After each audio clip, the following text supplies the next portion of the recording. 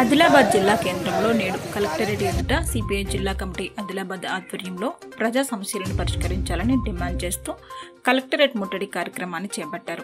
ప్రభుత్వ భూముల వేలాన్ని వెంటనే ఆపాలని జీవో నెంబర్ థర్టీన్ ఉపసంహరించుకోవాలని వ్యవసాయ చట్టాలను కేంద్ర ప్రభుత్వం రద్దు చేయాలని అర్హులైన వారందరికీ డబుల్ బెడ్రూమ్లు ఇవ్వాలని దళితులకు మూడు ఎకరాల భూమి ఇవ్వాలని ఆదివాసుల భూములకు పట్టాలు ఇవ్వాలని డిమాండ్ చేస్తూ కలెక్టరేట్ ముట్టడి కార్యక్రమం చేపట్టడం జరిగింది. ఈ సందర్భంగా జిల్లా సిపిఐ కార్యదర్శి ముడుపు ప్రభాకర్ రెడ్డి మాట్లాడుతూ ఈ కార్యక్రమంలో అరుణ్ కుమార్ సిరా దేవేందర్ మోసం భాస్కర్ గణేష్ తదితరులు పాల్గొన్నారు.